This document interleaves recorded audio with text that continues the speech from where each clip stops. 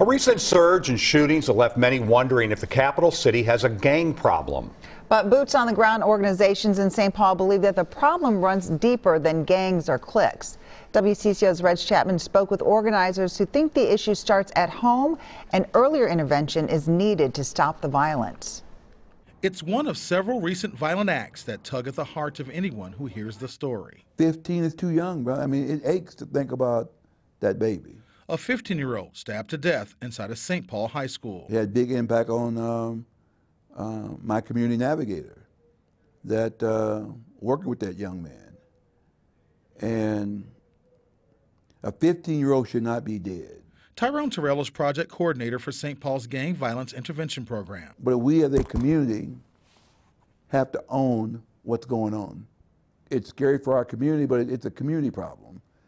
And for me, it's a black community problem because the majority of folks that are doing the shooting, doing the killings, are our people. Terrell and his three community navigators work to gain young people's trust and then work to get them disconnected from activity that hurts them and community. Some of these little groups will start out being 15 together. We fall out, you take eight, I keep seven, right? And now we at it. He believes intervention needs to start earlier than 12 years old. He says by that time they already have and know how to use guns. We've got to start zero to six.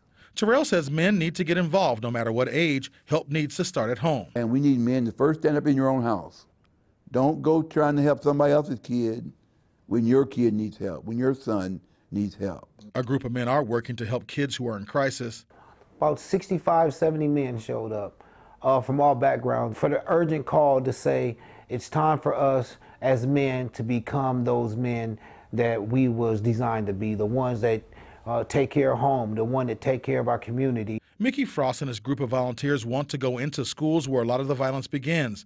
They are already in the community, mediating disagreements between groups or cliques. Both men say it's all hands on deck to deal with an issue that impacts us all. In St. Paul, Reg Chapman, WCCO 4 News. Just today, prosecutors filed charges in one of those shootings. The suspect is a 16 year old boy.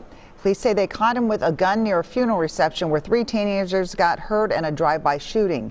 Investigators say that the boy's pistol had a device that made it a fully automatic weapon.